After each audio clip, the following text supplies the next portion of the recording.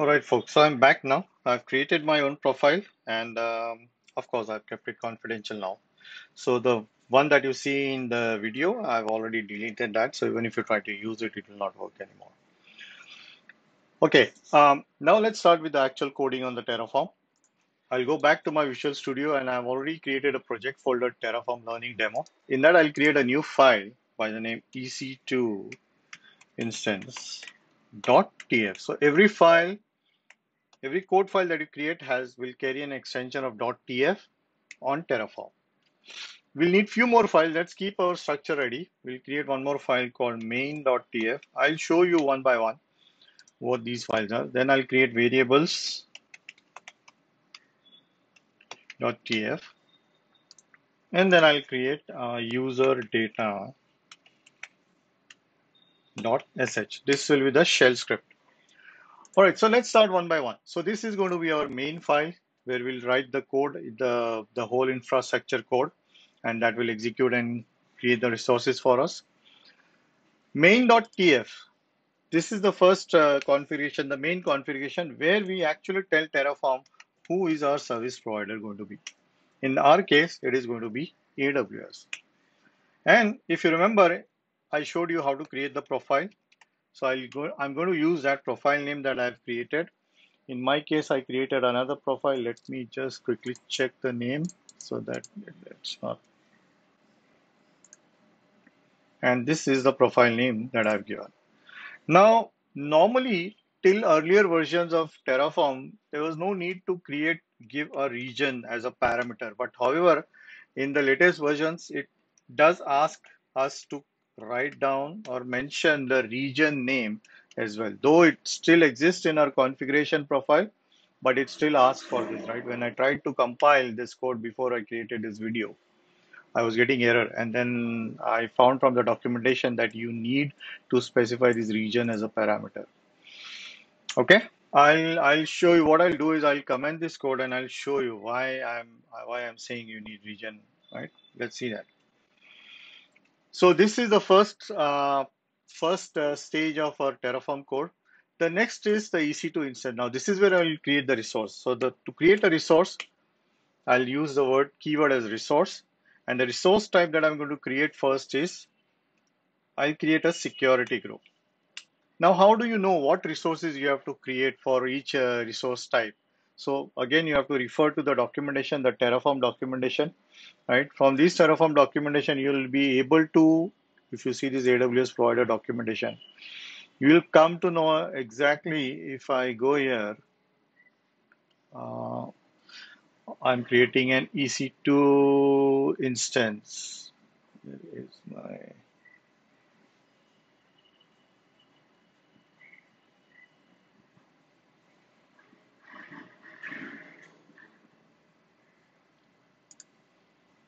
So under that resources, so if you go data, sources is something I told you, right? If you have to fetch the data from other resource, here you are creating a resource. So if you see this, the whole configuration, right? How and what all resources are required, arguments, everything is provided over here.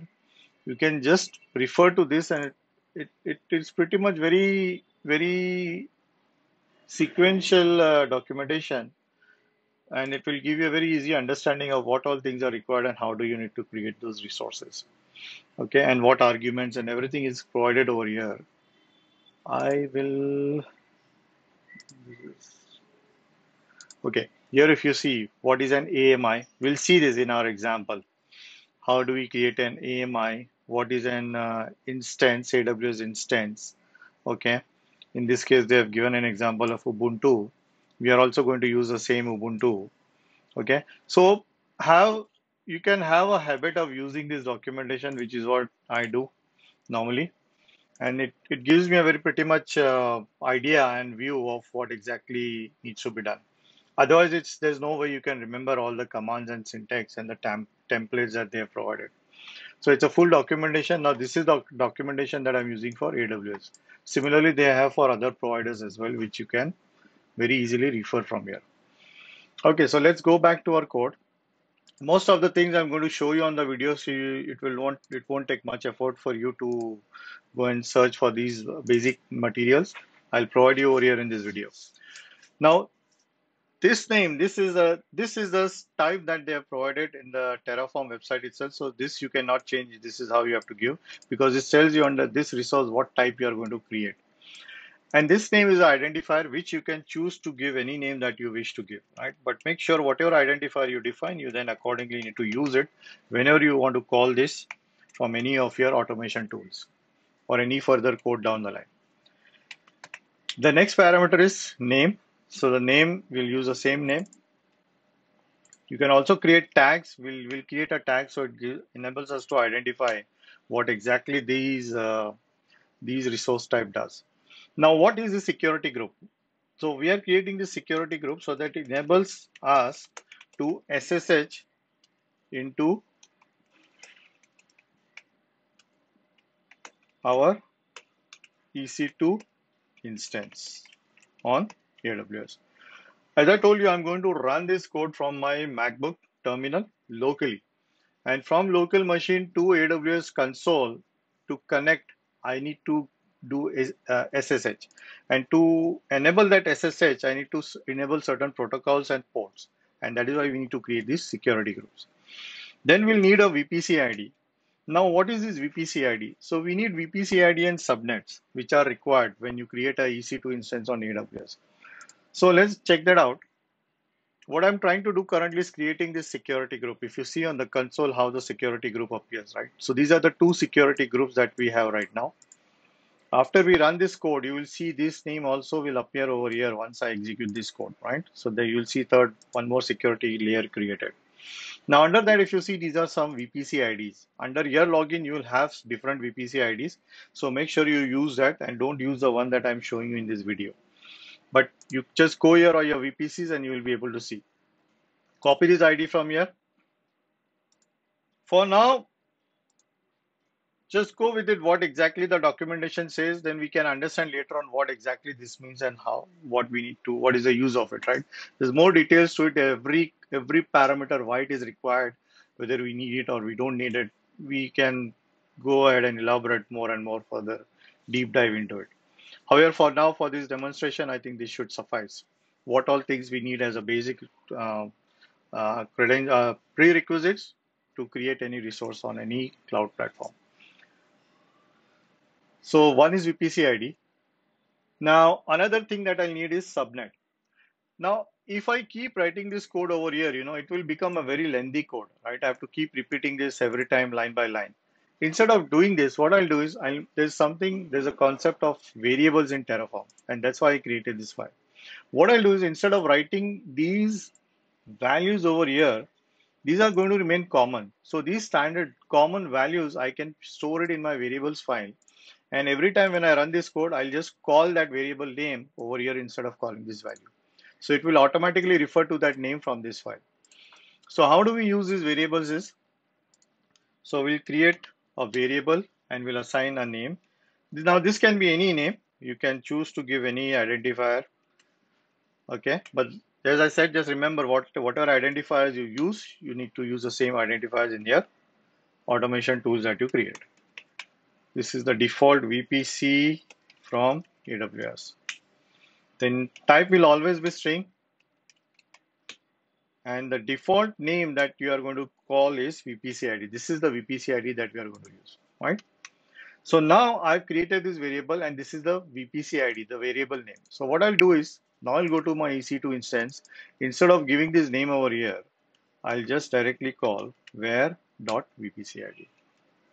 Where is a standard uh, attribute and using that attribute you can then call is a standard property and using that property you can call the identifier that you want to uh, use in, in this file.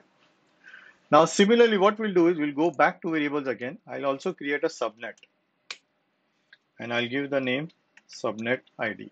Again this is an identifier you can choose to give whatever names you want to give and this is going to be my default subnet from AWS again type is going to be string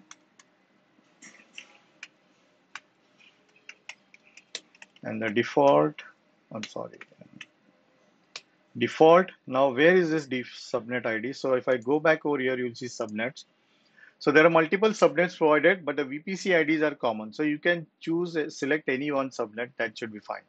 So I'll just copy this subnet ID and I'll paste it over here. That's it. So first part is done. Uh, in the main, we have provided the server provider name and then in EC2 instance. Now, few more things that we'll have to do here is we have to provide the ingress and egress. What is ingress and egress? So I have just copied this code from uh, the uh, Terraform uh, documentation. So this basically ingress is whatever comes into our network and egress is whatever exits from our network. Now in this case, it is not our network, but it is the cloud network, right? Where we are spinning up these resources. So from that context, this is what ingress and egress means. Now this is the common port, standard port that I'm going to open, which is a TCP port for SSH, which I said we'll need to use SSH into our EC2 instance. And the egress is we'll use minus one so that it allows and accepts any protocol, right? Whether it is TCP or whatever protocol it is, even if it is VP4, IP4, IP6, it will allow anything. So that's why I'm using uh, minus one. And then we can define tags. Tags are always very useful. I'll just, I'm sorry.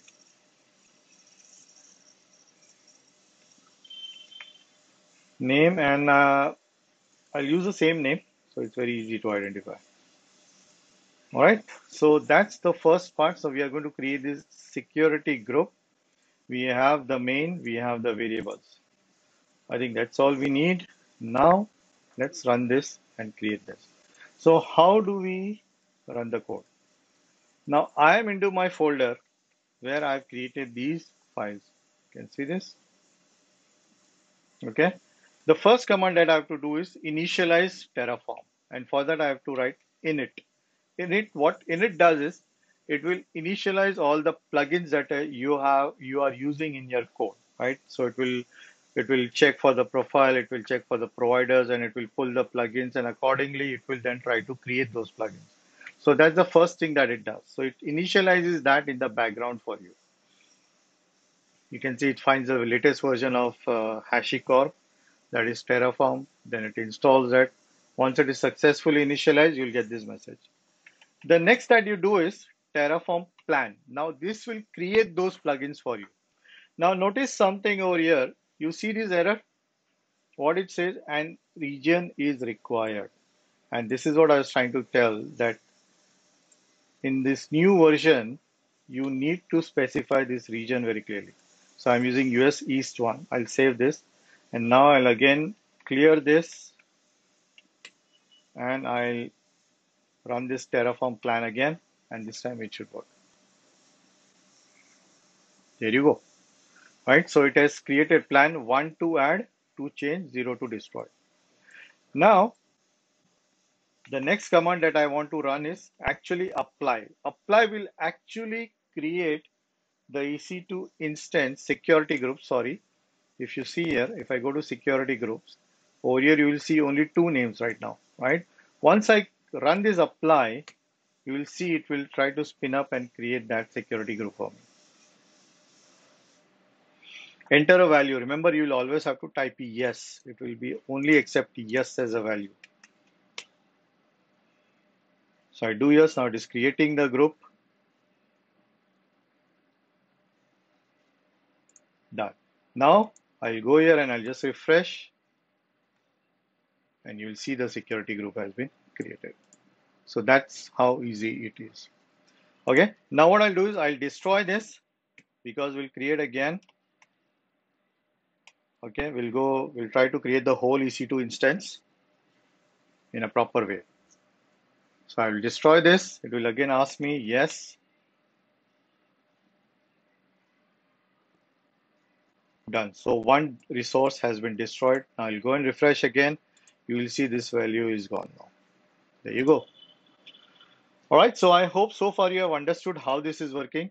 So let's go further and now we'll create a key pair, right? That's the most important part. Now key pair is required to log into your EC2 instance. If you want to do SSH, you need a key, right? The PEM file and the public key to log into the instance. So how do we create that? Let's see that.